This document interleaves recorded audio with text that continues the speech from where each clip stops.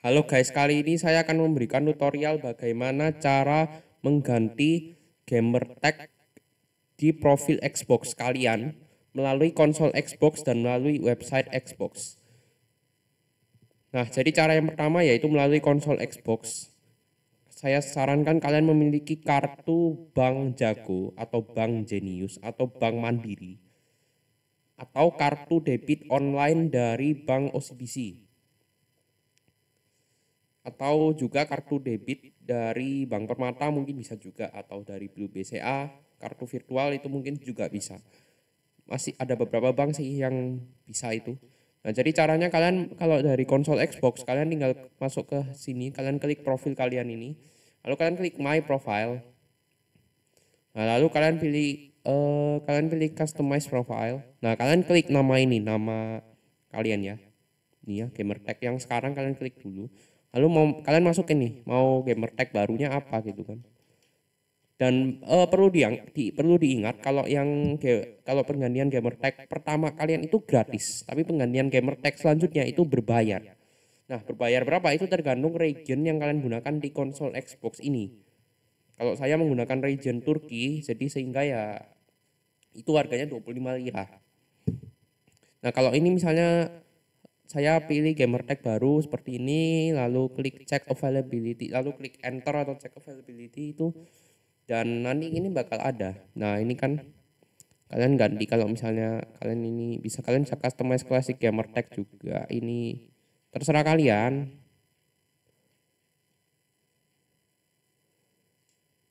Lalu kalian pilih change gamer tag nah ini kalian change ya. Ini karena penggantian kedua saya jadi saya harus membayar membayar biaya jadi biayanya itu sekitar 25 lira bener ya. Jadi kalian pilih di sini add a way to pay. Lalu kalian pilih add a way to pay atau kalian mau pakai gift card juga bisa. Kalau mau pakai gift card, ini saya pilih pakai kredit or debit card aja ya. Bisa ya. Kalian pilih kredit or debit card. Nanti di sini kalian harus masukkan alamat Turki sih. Jadi saran saya kalian cari dulu alamat Turkinya. Nah, kalau udah gini kalian tinggal klik buy aja ya.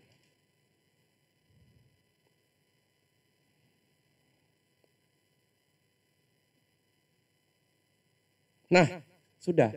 Jadi sudah berhasil, ya. Jadi kalau sudah berhasil, kalian pilih cut it. Kemudian kalian tunggu.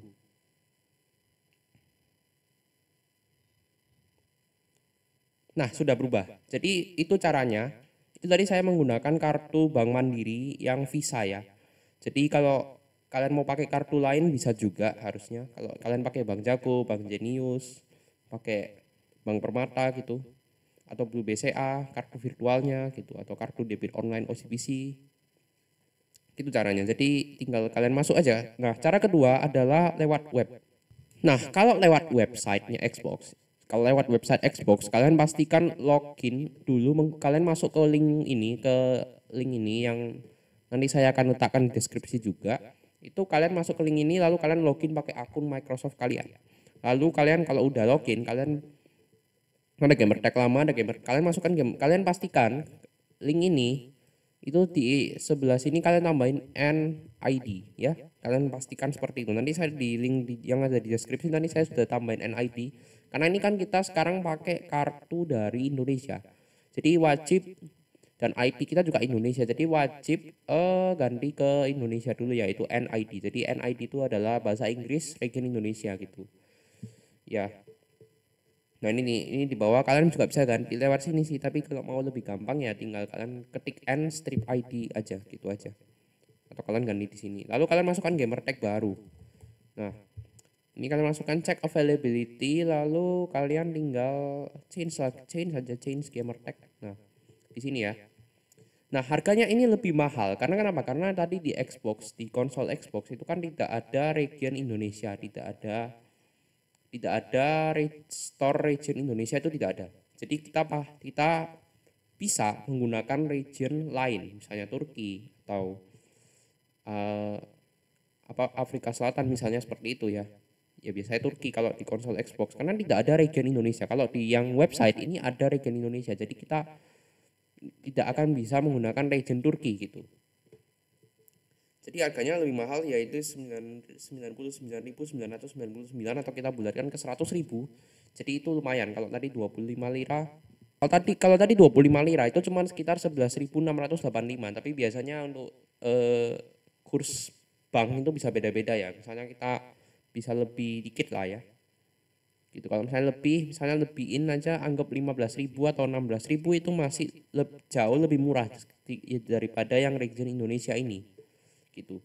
Nah, jadi kalau di region Indonesia kalian bayar segini ya sama caranya. Kalian pilih get started at the way to pay ini. Lalu kalian tinggal pilih credit or debit card. Ya, masukin aja detail kartu debit kalian atau kartu kredit kalian ya. Pakai kartu Bank Jago misalnya. Itu bisa juga.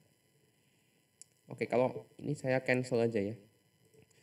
Jadi kalau mau murah, kalian wajib dari konsol Xbox gitu aja.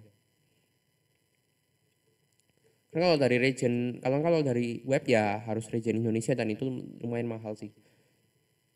Tapi kalau yang nggak punya konsol Xbox itu yang hanya main di PC ya ya pakai cara ini gitu kan. Ya udah, seperti itu aja video kali ini. Terima kasih yang telah menonton dan ya udah.